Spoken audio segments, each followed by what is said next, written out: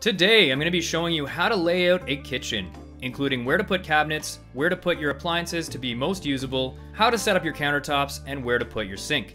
I'm also going to go through some kitchen design fundamentals, like where to put pass-throughs, how to account for clearances for stoves and dishwashers, and how to maximize usable light. Later on, I'm going to dive into plumbing, HVAC, and electrical basics to start you off on your kitchen design journey.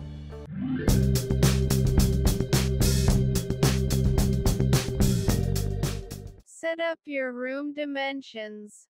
Okay, the first thing you want to do is figure out the size of each of the rooms that you're working with. I mean, in this case, I have two rooms that I'm working with. One of the them is the existing kitchen, and one of them is where the new kitchen is going to go. The existing kitchen is 7 foot 10 deep by roughly 20 long. But what I'm going to do is set up a grid pattern using the marquee tool here, the rectangle tool. And my scale is 1 centimeter equals 1 real world inch. So if I'm going to have a grid that is a foot by foot, I will do 12 by 12, hit OK. I'm going to get my grid piece here, and that looks pretty good. I will update the stroke to 2 so that you can see it a little bit better. And then all I'm going to do is move these. I'm also going to add a fill because I want to make sure I can select it easier. And then when, in Illustrator, if you double click, you go into isolation mode and it makes it very easy to select only the object you're working with. So I'm going to organize this right into the corner here. And what I'm going to do is duplicate this as many times as I need to fill up the space. So I can move this, I hold down Alt and then move it over to the left. Uh, once you've done that, you can hit Command D, which in Illustrator is repeat the action, and that will duplicate all of your grid pieces all the way to the end of the row. Now, select all of that, Command G will group it, and you're gonna do the same thing. So you move it up, hold down Alt, that will repeat it. Again, same deal, hit Command D, and you will get a full grid showing the layout of the room. So that's my foot one foot by one foot square grid for the existing kitchen. Now all I'm gonna do, again, go into isolation mode. Actually just use that one. So I'm gonna choose all of these. And I will group them and the same thing, hold down Alt, move them up, move them into the new room. So what you also want to be aware of is where your anchor point is or where your frame of reference is in the room. So for these two rooms, because this is going to be size as and this is going to be um, my definitive blueprint for where everything goes, you want to make your anchor point right in the corner of the room. So this, this point here would be the corner of this room. That's my anchor. And then this point here is the corner of this room. Now, I'm using the bottom right corner in this case. You could use any corner you prefer. Uh, in this case, the reason I'm doing that is because my kitchen and sink are going to go into this area here, and I would prefer to have the overlap on more of a dead space, which is this top wall up here. So, get back into here. Same deal. I'm going to choose this. I don't think it's going to work there. No, Command D doesn't work there, so I'm just going to duplicate this and grab it with Alt, snap it up in place, move it up to the top, and you've got your finished grid for both rooms. In the case of any excess, press A and you can do a point select tool, hit delete twice, and that will get rid of any excess for your grid. So you can see already that was fairly quick and we've got a grid laid out that's size as, a foot by foot, and we can start dropping elements into it and planning the design. So in my case, I would add the grid over to here as well, but because this is dead space and because this is a window over here, you've got a lot of light coming in there, uh, this will actually end up being a bench over here, uh, so I'm not going to add the grid to that space because I know that nothing's going in there. But if you did have an opening here, then you could just copy all these pieces here and move them over. Common kitchen dimensions. The next stage is looking at actual common widths of your appliances and countertops and any of the fixtures that you're going to have in the kitchen. So the reason for this is to be able to quickly move things around in your layout and know that it will work when you go to buy your cabinets. Cabinets are one of those things that are very tricky when it comes to layout and dimensions because there are quite a few different sizes, but there are a lot of common ones. So you can see right here that there are quite a few common sizes, foot, 15 inches, 18, 24, 30, 36. The height of cabinets is for the floor standing cabinets is generally 36. You've got three feet for cabinet height. For cabinet depth, you're looking at 24 inches. And these are very standard sizes for cabinets. So you can go by that, at least in North America. I put counter depth here 25 inches deep. The reason 25 is because I've got a one inch overhang for the countertop. So that's just my own measurement and 36 inches tall. Your sink, my sink is gonna be 22 by 32. The fridge is gonna be 27 by 35. Again, fridges are a uh, asterisk item because fridges come in a lot of different shapes and sizes. For my application, I did a bit of research. I'm gonna have a slightly bigger fridge, double door, and that's where this comes in. Cooktops as well are the same scenario as your fridge. The one that I'm using is a pretty typical size. It's gonna be 20 inches deep and 30 inches wide.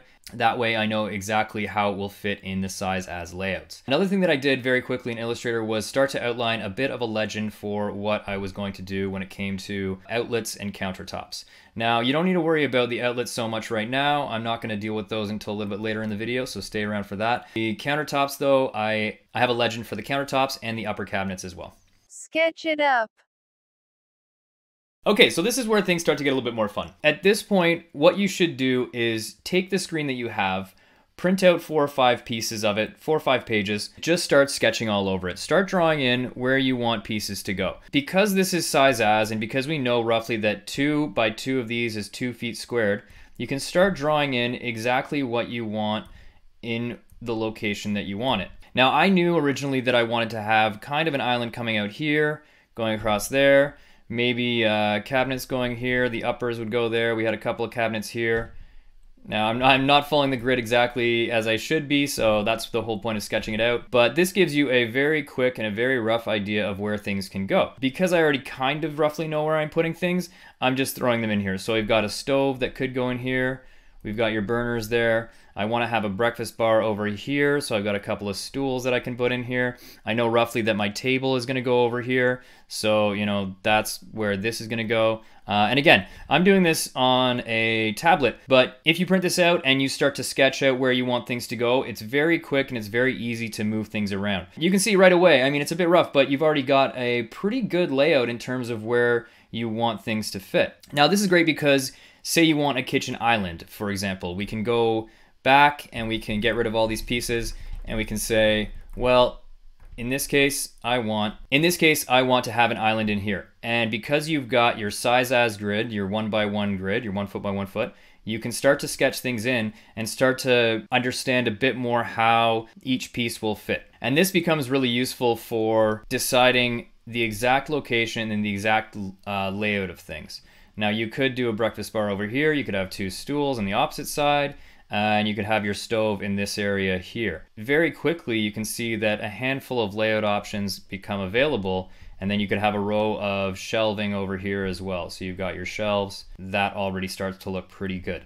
So the only issue with this design then as you can see is that you've got very limited space here and then very limited space here. So one of the main considerations for a kitchen design is how people walk through the space and how they use the space. So like I mentioned before, I've got the front door here and that comes into the space right here. So what I would like to do is to have people to be able to flow through the space very naturally. I'm gonna put a table roughly here, which will work out fine. You just have to be careful that there's enough space for them to walk around, enough working space for them to work here, and enough working space for them to get into the other rooms. In this case, this is the dining room over here. So you can see that foot traffic is a big consideration when it comes to designing these spaces, and you really want to be aware of where people are going to move. This is a hallway here, so people are going to be walking out, out this way into the dining room. To get to other rooms of the house, you want to be able to flow through both ways here, and you want to be able to flow through both ways here, and you want to be able to flow through both ways here very naturally, and you definitely don't want any obstructions in this area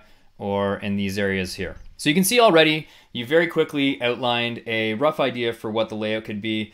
So I'm gonna go ahead and I'm gonna start to put some cabinets and appliances and things into the layout, and I will show you how that is gonna look. Now, at this point, it is useful to talk about the kitchen triangle, and that is something that is fairly common in kitchen design where you've got your fridge, your stove, and your sink. And what you want to try and do is have a comfortable distance between all these three things so that when you're cooking, you've got your location here, your cleanup with your dishwasher will be here, your prep area could be here, either within arm's reach or within a step or two. And then my dishwasher will go down in this location. I am going to start to put things together and I will show you exactly how that looks in a mini build montage. It's time to bend time.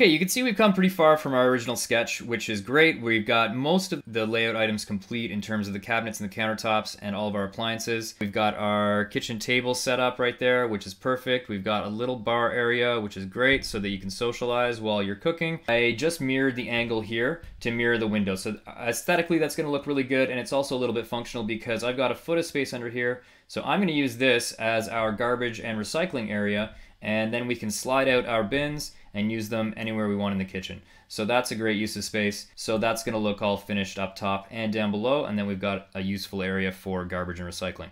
So when you're doing dishes and you're loading the dishwasher, you're gonna have a lot of natural light flooding in from this direction. You're gonna have a lot of natural light flooding in from this direction because remember, this is a giant window right here. So this is a great location for that. So you probably wouldn't even need to use indoor lighting when you're cleaning up during the day. And you might be asking yourself, why did I put the fridge so far from everything else?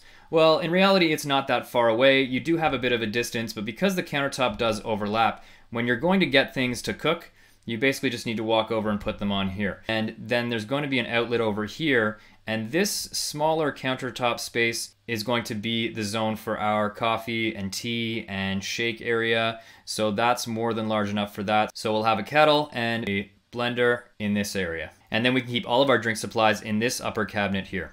If you want to see this entire project get completed, so I am going to show every step of the process. I'm going to be destroying this wall down here. I'm going to be adding all the plumbing in here. I'm going to be doing all the electrical work all through here. So if you like what you see and you want to see this entire kitchen be built from start to finish, I'm going to outline every step of the way and I'm going to give as much detail as I can. And then if you have a project like this, you'll be well equipped to handle it. Okay, next I'm going to talk about lighting, and this is very important because lighting plays a huge role in how your kitchen looks, how the aesthetic feels, and just the overall feel of the kitchen. So in this example, we've got natural light coming from three places. We've got this pass through here, which is going to have natural light coming through this way, and you've got a window that's just down here, and you've got an entrance that's below there as well, a double door. You've got another big window over here, so that's going to let in a lot of light. And then you've got a bit of ambient light that's going to be reflected through here, but not a whole lot. So you will get some light there, but I'm going to say, you know, 50% in terms of light diffusion over in that area. So your natural light plays a big role, and that's part of the reason why I personally wanted to move my kitchen into this area because I do have a lot of natural light that's going to be flooding this space here you can start to lay out where your primary lighting is and then where your secondary lighting is. Your primary lighting is going to be the main light source in the room. So in this case, it's going to be pot lights. Now pot lights are pretty easy to lay out because you typically just want to have them evenly spaced throughout the room. In this case, I generally would put them about three feet apart and maybe add a couple in this space to make sure that there's a lot of diffuse light bouncing off of everything and softening up the shadows in the room. That's going to look good, but how are the shadows going to play off of everything as well? So when you're in these workspaces, spaces, let's say you're standing here. If you have your lighting back here and you don't have any lighting in this area here, you're to have some hard shadows filling up this space right here. And if you're going to work here, you're going to have your shadow hitting here, and if you didn't have this ambient light coming in here, or maybe another light source hitting it from here, this actually would get fairly dark. So you have to think about that when you're planning your lighting. Now in my case, it's not a big deal because like I said, I do have a lot of natural light coming through during the day. And because I do have a lot of, of lights in this area, you're gonna get a lot of diffuse light hitting this work surface. So this is okay, I'm not too worried about that. Same with over here. So down in this area, you've got your light sources coming in here and they're going to be hitting this area here. Now realistically, if the lights are literally on this three foot line, this is three feet from the wall, then your light source is going to be bouncing almost directly off of the top of where you're standing, which is fine because you your your cast shadow then is going to be straight down. So this area here is going to be fairly well lit. You're not going to have to worry about that work surface all that much and that'll be good as well. Over here, you don't have to worry about lighting too much because this will all diffuse nicely in this area. It's all wide open, and that's not a workspace. Your fridge is just here, but your eating space is gonna have some nice ambient light as well. So the stove is another area where you want to be aware of your lighting. I will have a range hood over the stove here, hanging from the ceiling, and then you're gonna get some light diffusing out of that, going in all directions. What I might do is get rid of this pot light here, so no light there, and just have you know, the lights in these locations. You got one, two, three, four, five, six, seven, eight, nine. And that will work well in the majority of the room. With these nine lights, the nine pot lights, the stove light, that's going to be good primary and secondary lighting for the majority of the workspace. Now, I am going to add a few more lights down here through the pass through. They're going to be pendant lights and they are going to add a little bit of architectural flair, I guess you want to call it, but they're also going to add a bit more lighting that's going to come down into this space here. So at night or, you know, at dusk or in the morning, uh, you can flip the switch here and you'll, you can just throw these lights on. Clearances for oven and dishwasher. I had the dishwasher in this location. Now, initially it doesn't seem like a bad idea because you clean, you move your dishes over here, and it's not a big deal. But when you open the dishwasher door, it does stretch out right into your walking lane. So that's no good. So I moved that over into its current location, and then when the door opens, you've got no problem for your clearances here because you're typically going to be standing on this side of the dishwasher. The other clearance you need to look for is your fridge clearances and your oven clearances. So the fridge obviously is no problem. You've got two doors that might open here. There's lots of room. You've got your oven opening over here, which again is lots of room. So you can see that in the off chance that you potentially have your dishwasher and your oven open, you've got quite a bit of area to navigate and realistically you could you could move through these spaces no problem. Electrical. My primary lighting, which is the pot lights, these lights here, are going to be on a two-way switch. So when you come into the room here, you've got your switch there. You've got two switches here. So one of these switches is for the pot lights here. The other switch is going to be for the lights here, which are not in the diagram yet. I will run wire up through the ceiling from these lights all the way over, basically zigzagging around to all of these lights, and then doubling back to my three-way switch. And then the breaker panel in my house is in the basement over in this area. Uh, so I would run it over to there as well, obviously. But that is the primary wiring diagram for the primary lights. And then there are a handful of other lights, electrical outlets that need to be accounted for. Typically what I will do is I've got some outlets up on the cabinetry here, so you've got some good spacing here. So if you want to hook up appliance on this side, you can work over in this space. If you want to work in this space, you've got an outlet, and if you want to work in this space, you've got an outlet. So those are perfect. The other outlet is down in this corner here. This outlet is for a kettle and a drink station. This outlet over here is for whatever we decide to put here. And then if we decide to put a toaster or something over here or whatever we want, I've got another outlet over here. To adhere to code, any outlet that is within three feet of any water source, so anything that's within three feet of this sink, which would apply to this outlet and this outlet here, you do need to have a GFI breaker, um, GFI outlet in those areas to meet code. So remember that. And as far as the other electrical concerns are, I have a range hood here that I need to run wiring through the ceiling to and I've got a 40 or 60 amp oven outlet that will go here. And again that's going to run through the floorboards then over to the breaker which would be on the other side. And then I'm also going to have another outlet because why not on the side of the peninsula out here. Heating ventilation and cold air. For a kitchen the primary concern for HVAC other than your typical furnace and air conditioning supply and return vents is your range hood. So my range hood is going to go right here, obviously, over the stove. My floor joists in the ceiling run this way. That's obviously not to scale because they're on 16 inches uh, on center. But what I will do with the range hood is I will run the ductwork parallel to the joists, go through the wall outside into my garage area, which is up here. Apologies for the handwriting, it's awful. Turn right, all the way out to the outer wall, and then put a vent cap out there. Plumbing. Okay, so on to plumbing. So in my existing kitchen, which actually is in the lower area of this room here, I have a sink and I have my water hookups, my, my water, my hot and cold water supply lines, and I have my drain lines here, and then the dishwasher is over here. So what I'm gonna have to do is run all of these lines, the supply lines and the drain lines across this wall, and then all the way up here. Uh, the joists again are running this way on the floor. So this will all be parallel to the floor joists underground. And then what will happen is all of these will run up to the sink and the dishwasher and supply both of them with hot and cold water. And so the drain goes this way and it's going to follow the same route as the supply line. So it basically goes all the way back down, all the way across, and I will connect to the existing drainage system, which will dump it out into the street somewhere, and hopefully not into a river, but we'll see. Sometimes if you have a fridge that has a ice maker or a water machine, you would probably have to run a line up there and supply that so you could get some you know, water coming to that. But I'm not going to have that in this case. And that's a very quick overview of how the plumbing is going to work. Obviously, there's going to be some details involved in how that all operates, but that's where it's going to go in terms of the plan. Alright, if you enjoyed this video, please subscribe because everything that you just saw in the video is going to be done in real life. I'm going to be tearing out my old kitchen, moving it to a new room, and showing you exactly how to do everything I just described, and in a lot more detail. This was a very basic, very primer kind of video to at least get you started and get you thinking about if you want to build a kitchen, this is how you can start to do it.